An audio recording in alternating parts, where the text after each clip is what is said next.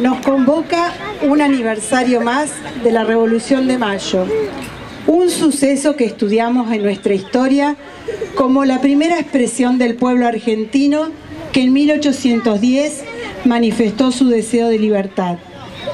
Podríamos pensar que esta es solo una celebración más, que como lo marca la costumbre, vamos a oír y ver lo mismo que otros años, con matices diferentes. Sin embargo, por unos instantes nos vamos a detener a evaluar por qué recordamos esta fecha y así entonces comprender la magnitud de su importancia. Lo que recordamos en este día es el acto fundante de nuestra nación. Fundante deriva del verbo fundar, que significa sentar, afirmar sobre una base, poner los cimientos, construir, edificar. Y el verbo recordar quiere decir en su acepción más antigua volver a pasar por el corazón. Y es en este punto donde se encuentra lo que distingue esta celebración de otras. En mayo, hace 209 años, se hizo realidad el anhelo de libertad de un puñado de mujeres y hombres. La hazaña que llevaron a cabo por una sola fuerza de sus ideas, de su voluntad, de su determinación, en la pequeña aldea que era entonces Buenos Aires, asiento de las autoridades del último virreinato fundado por el Imperio Español. Ninguna revolución en la historia de los pueblos ha tenido una significación más elocuente que la de Mayo, porque los hombres que la provocaron sintieron en su espíritu la vibración generosa de los ideales de libertad y justicia.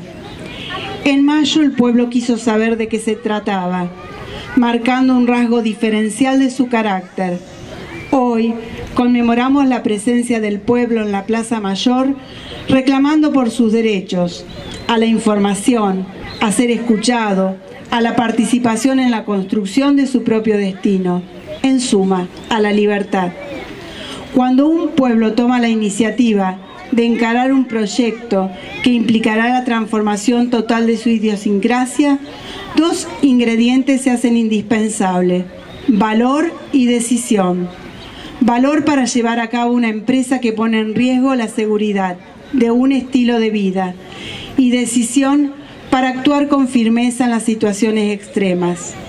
Ser argentinos es reconocernos herederos de aquellos hombres que lucharon por sus ideales, que sortearon todas las dificultades, que se congregaron hace más de dos siglos, el 25 de mayo de 1810, para tomar el futuro en sus manos. Nosotros somos su legado. Seamos constructores de la patria grande que soñaron aquellos que sentaron las bases para hacer de este suelo un territorio libre y soberano. Seamos dignos de su ejemplo.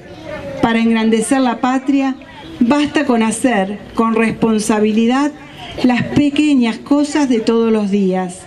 Vale la pena entonces que todos nos esforcemos para que cada mañana brille sobre el suelo en que nuestros hijos crecerán un sol de justicia, paz, trabajo y dignidad.